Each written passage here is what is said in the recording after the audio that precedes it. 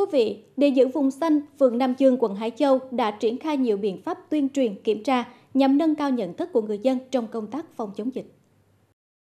Ngày 6 tháng 9, phường thành lập 5 tổ kiểm tra giám sát việc người dân chấp hành quyết định số 2905 của Ủy ban nhân dân thành phố về việc tiếp tục áp dụng các biện pháp cấp bách để phòng chống dịch COVID-19 theo chỉ thị số 05 ngày 30 tháng 7 năm 2021 của Chủ tịch Ủy ban nhân dân thành phố Đà Nẵng. Qua kiểm tra thì rất nhiều trường hợp ờ, bà con ờ, ra đường thì qua kiểm tra thì cũng đã nhắc nhở được ờ, 15 trường hợp,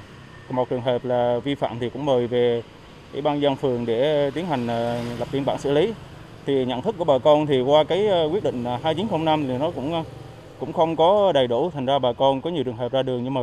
cũng chưa có lý do chính đáng. Thì lực lượng cũng tiến hành là nhắc nhở để yêu cầu bà con là quay đầu trở về nơi cư trú của mình. Tại các chốt kiểm tra ở khu dân cư, các thành viên tổ Covid cộng đồng tiếp tục công tác kiểm soát người dân ra vào khu dân cư. Bản thân tôi và các anh em trong tổ cố gắng làm tốt cái nhiệm vụ được giao của Chủ tịch Ủy ban dân phường Nam Dương để góp phần xây dựng củng cố giữ vững cái vùng xanh của mình và để góp phần nhân rộng lên cái vùng xanh cho các cái khối ờ, bạn, các phường bạn, góp phần cho thành phố là thực hiện công tác phòng chống dịch được tốt. Được sự hỗ trợ của quận Hải Châu, phường Nam Dương đã phát triển thêm 7 camera giám sát tại các kiệt hẻm, quản lý chặt chẽ người dân trong việc thực hiện giãn cách xã hội, ngăn chặn tình trạng lây lan dịch bệnh.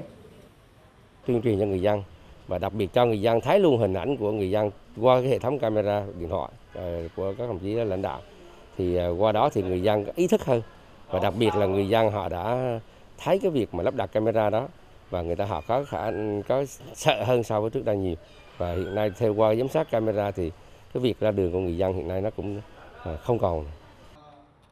Bên cạnh công tác tuyên truyền, người dân chấp hành nghiêm các quy định đối với vùng xanh theo quyết định 2905 của Chủ tịch Ủy ban nhân dân thành phố. Phường Nam Dương đang phối hợp với cơ quan y tế chuẩn bị triển khai tiêm vaccine cho dân theo phân bổ của quận, đồng thời liên hệ với các doanh nghiệp cung cấp lương thực thực phẩm cho người dân nhằm đảm bảo thực hiện giãn cách xã hội.